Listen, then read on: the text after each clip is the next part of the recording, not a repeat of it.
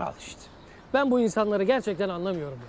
Hayır anlamak da istemiyorum ama yani alışverişi yaptın tamam. Niye sepeti yolun ortasında bırakıyorsun?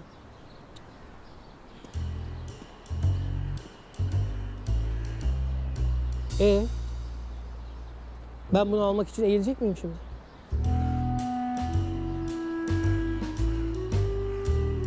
Neyse şanıma şöhretime bir leke gelmeden eğilip alayım bari.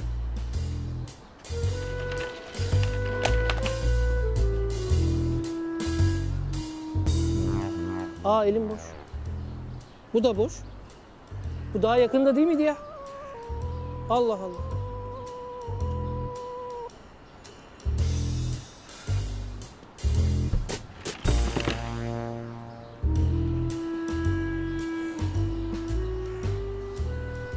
Ben koca Aspar. Ben ki koskoca teknoloji devi şirketin önünde eğilmemişim. Senin önünde iki kere eğildim ya burada. Yeter gel artık. Ya gelsene buraya. Aa, gelsene buraya. Gel buraya. Aa, ben bakayım sen, sen. Hop, tuttum seni ya. Sen nereye gidiyorsun? Ha? Sen nereye gidiyorsun bakayım? Çağırsak gelmezdin. Biz de zor kullandık.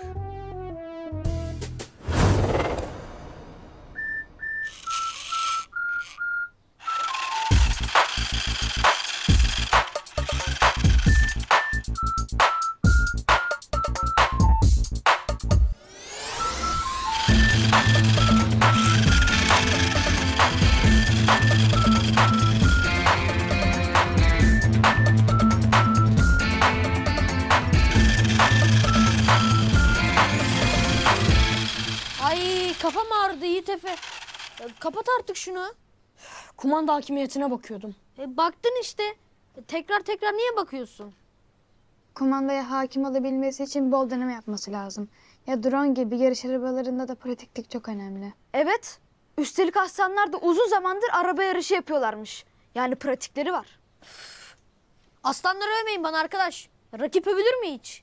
Ya bu rakip övmek değil Tonguç. Ee, sonuçta her işin bir ehli var. Evet. Arabalarla biz de ilgilenebiliriz. Kendi motorumuzu da yapabiliriz. Ama hemen birincilik iddiasında değiliz. Ben birincilik iddiasındayım arkadaş. Arabayı parlatıyorum burada.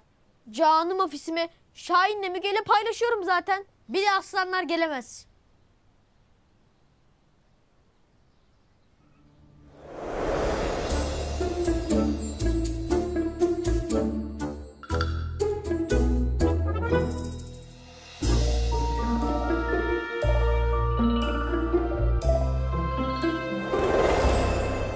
Bu arada sen niye Şahin'in arabasını parlatıyorsun? Ha bu mu? Ortak bir düşmanımız var şu an. Onları elemek için her yola başvururum.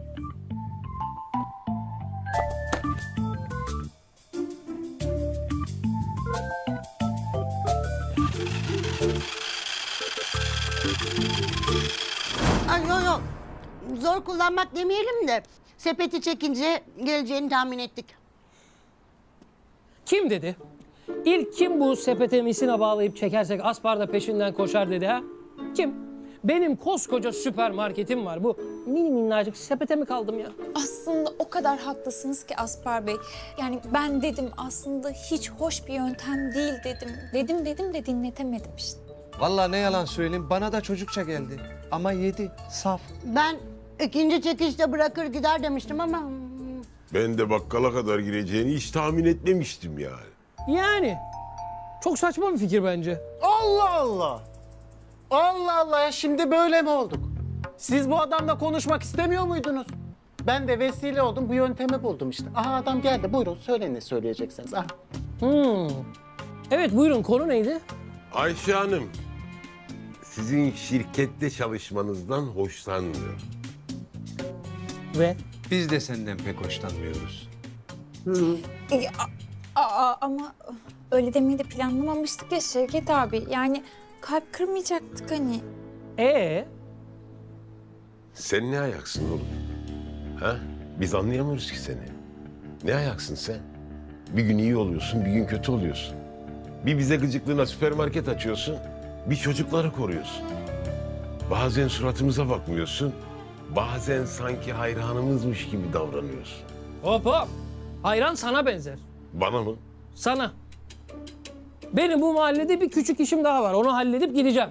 Yoksa size ve vıcık vıcık sevgi kokan mahallenize kalmadım. Sepetimi takar giderim. Bir müsaade eder misiniz? Sepetim var kapıya sığamam. Geç. Sığmıyorum. Geç geç.